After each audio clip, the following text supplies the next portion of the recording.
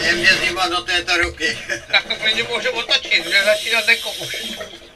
No, tak ještě kousek. Kousek, ale já začínám to.